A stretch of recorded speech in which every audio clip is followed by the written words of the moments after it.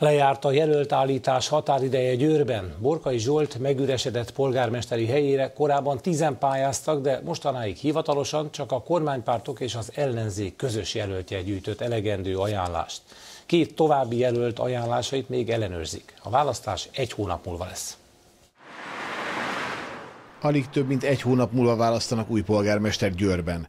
Borkai Zsolt ugyanis hiába nyerte meg az október 13-ai választást, az internetre is felkerült szexvideó miatt először magyarázkodásra, majd komolyabb lépésekre kényszerült. Az elkövetkezendő időszakban kilépve a Fideszből független polgármesterként fogom folytatni a tevékenységemet. A kormánypártok által támogatott polgármester végül kevesebb, mint egy hónapig maradt hivatalában. November 8-án lemondott. Alig egy hete még úgy tudtuk, hogy tíz pályázó is van a megüresedett polgármesteri székre. Ez a gyűrieket is összezavarta. előtt nem volt ennyi, mint most. Ugye most hát nem, nem tudom. Nézegetem a képeket, hogy kik vannak. Hát még, még nem döntöttem, mert január 26-án lesz. Úgyhogy még gondolkodok. Végül négyen maradtak versenyben, de mostanáig csak a kormánypártok és az ellenzék közös jelöltjét vették hivatalosan nyilvántartásba.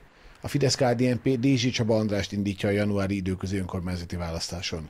A kardiológus főorvos szerint azonban most nem ezzel kell foglalkozni. A hétköznapi embereknek a szeretet és a hit időszaka van most, a politikusoknak viszont rendkívül fontos, hogy inkább a ágyatosság és a szolgálat irányába forduljanak, tehát ne zaklassák politikával ebben az időszakban az embereket.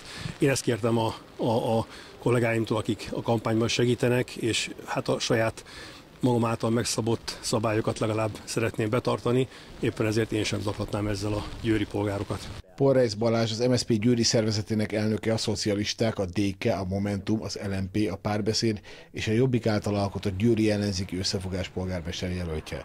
Ő a választás legfontosabb üzenetét fogalmazta meg. Vegyük vissza a városunk becsületét, legyen Győr újra becsületvárosa. Ez a legfontosabb üzenet, viszont kíváncsiak vagyunk a győriek véleményére, hiszen az előző és a mostani fideszesek, előző városvezetés és a mostani fideszes képviselők is viszonylag kevésszer kérdezik meg a győriek véleményét, úgyhogy úgy építettük fel a kampányunk elejét, hogy az információkat szeretnénk begyűjteni, hogy miket szeretnének a győriek. A január 26-ai választáson Balla Jenőre az Összefogás Győrért Egyesület indulójára és Hajnal János független jelöltre is szavazhatnak a győriek.